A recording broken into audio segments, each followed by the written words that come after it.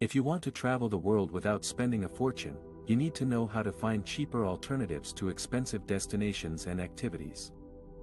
In this section, I will share with you some tips and tricks to help you save money and have a great time on your vacation. First, you need to do some research before you book your trip.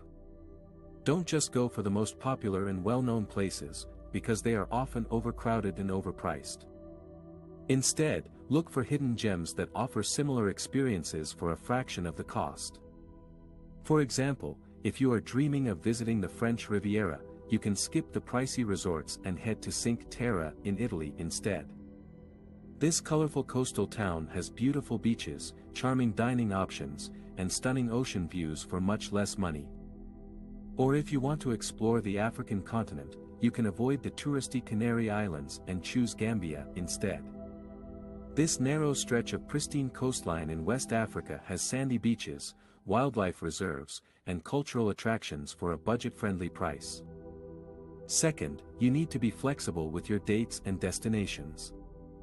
Sometimes, you can find amazing deals on flights and hotels if you are willing to travel during off-peak seasons or to less popular locations.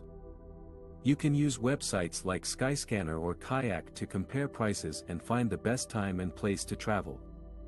For instance, if you want to experience the Italian countryside, you can skip Tuscany and go to Abruzzo instead. This region east of Rome has charming hill towns, delicious food, and stunning scenery for a much lower cost. Plus, you won't have to deal with crowds of tourists. Or if you want to enjoy some sun and sea in the Caribbean, you can opt for Trinidad and Tobago instead of more expensive islands like Jamaica or Barbados.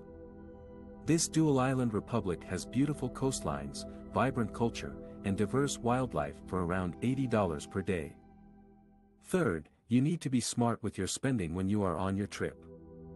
Don't fall for tourist traps that charge you extra for things that you don't need or want.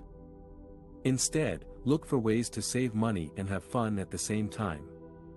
For example, if you want to visit Rio de Janeiro in Brazil, you can skip the expensive cable car ride to the top of Sugarloaf Mountain and hike up instead.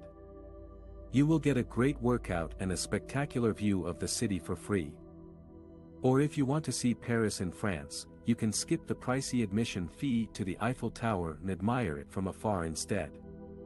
You can also visit other free attractions like Notre Dame Cathedral, the Louvre Museum, on the first Sunday of every month, or the Luxembourg Gardens. As you can see, there are many ways to find cheaper alternatives to expensive destinations and activities. You just need to do some research, be flexible, and be smart with your spending. By following these tips, you can have an amazing vacation without splurging on a $6,000 trip.